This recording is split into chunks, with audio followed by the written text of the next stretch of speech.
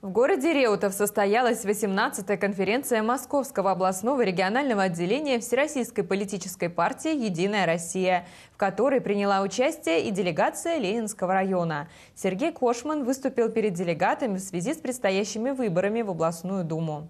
Он принял решение баллотироваться депутатом по Дмитровскому округу. О том, какие еще вопросы обсудили на конференции, в репортаже Юлии Погасьян.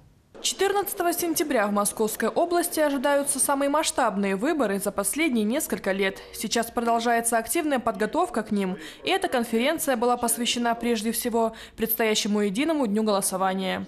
На заседании подвели итоги стартового периода избирательной кампании, обозначили дальнейшие цели и задачи, а также выдвинули кандидатов в Мособлдуму от партии «Единая Россия». Рассматривая итоги, э, отмечаем их как вполне удовлетворительные, хорошую активность избирателей. Мы собрали более 700 наказов, которые войдут в предвыборную программу как нашей организации в целом, так и отдельных наших кандидатов, отдельных местных отделений. Одним из кандидатов в Московскую областную думу стал глава Ленинского района Сергей Кошман. Он выдвигается по Талдомскому и Дмитровскому округам. Показав себя хозяйственным руководителем и имея большой стаж работы в Мособлдуме, в свое время он проработал здесь 15 лет. Этот шаг будет логическим продолжением его деятельности.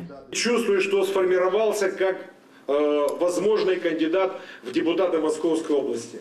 Работать умею, люблю работать, права отстаю э, своих избирателей второго округа. Округ большой, непростой округ, хочу сказать, потому что и Талдом, и Дубна, и часть Дмитровского района, э, люди э, хотят перемен хороших, люди верят нашему губернатору, а значит требуется деятельная и серьезная работа. Помимо основной темы конференции, делегаты не могли затронуть и такой волнующий всех россиян вопрос, как трагические события на Украине.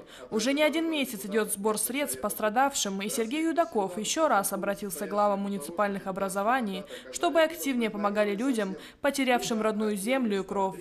Также в ходе заседания были вручены благодарственные письма наиболее активным членам регионального отделения партии «Единая Россия».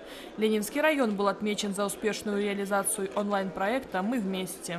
Можно сказать следующее, что это была некая репетиция и инициатива, как поднимать, как э, сплачивать наш э, наших единороссов, э, наших партийцев, и не только, и тех, кто разделяет с нами, в общем-то, интересы и взгляды.